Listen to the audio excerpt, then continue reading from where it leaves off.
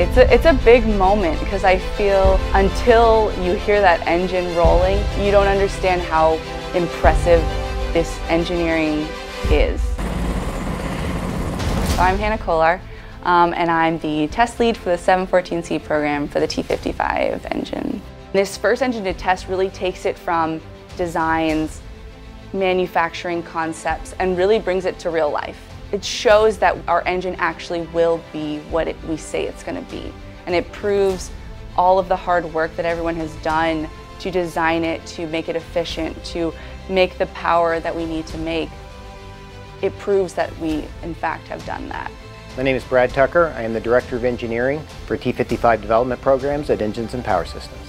And it's not really until that first moment when you get that engine in the test cell for the first time that all those decisions and everything are really put to the test. And it's just really a critical moment for the team there. And it really sets the trajectory for the remainder of the program because that's where you get your first learning.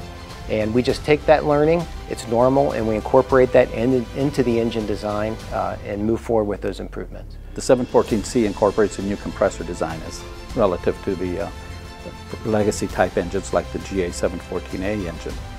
Victor Reyes, and I'm the product chief engineer here at Honeywell Engines, covering the turboshaft engines. It's a very exciting time for us because it's the first time we actually started up the engine, you know, that we've actually run it, put some fuel to it, and we get to see what it's doing.